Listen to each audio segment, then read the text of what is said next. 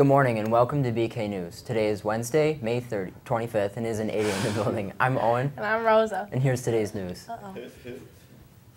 There will be a mandatory meeting for the seniors going on the senior trip during First App today.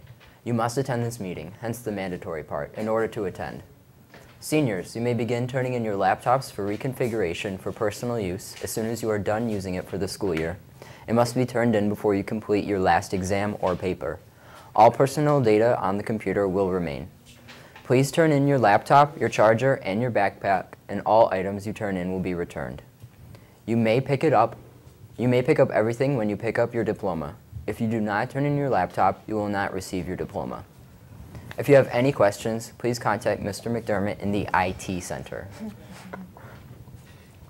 The second flo- floor mural is finished. Art club members who worked on the mural, mural must see Miss Kin- Kinley to sign it. Attention all softball players. Time for a pizza party. Your coaches will be throwing you a pizza party to celebrate the season on Tuesday, May 31st at 3 p.m. in the cafeteria. Don't miss it. Captains, please spread the word. There is folk rehearsal for the rest of the week during SAP. See you guys for details. Attention seniors, we will be holding a kickball tournament as part of your senior week activities. The tournament will be on Tuesday, May 31st from 1 until 4 here at BK.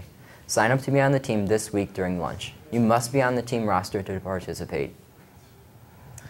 On May 31st, there will be a school-wide assembly in the auditorium for Olympic Day. Here at BK, led by led by Iris Zimmerman. After the assembly, there will be middle school fencing lessons. Iris Zimmerman is famous in the world of fencing. At the age of 14, she earned the distinction of being the first U.S. fencer, man or woman, to win a world championship in any weapon or age category. She went on to win the Cadet World Championship again in 1997 was the World, Junior World Championship champion, a bronze, bronze medalist at the Senior Worlds in 1999, and a member of the U.S. foil team for the 2000 Summer Olympic Games.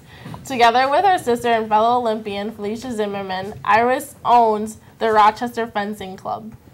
Why not think about it? That's really interesting. So, Owen, are you going to the pace party tomorrow? Yeah, the pace party is going to be lit. Yeah, super duper lit. Thank you for turning into Yeah. BK News. I'm Owen. And I'm Rosa. I'm Caleb. I'm Kyle. Nina. I'm Brian. I'm Caleb. I'm Miles. I'm Josh. And have a great day. Bye. Bye.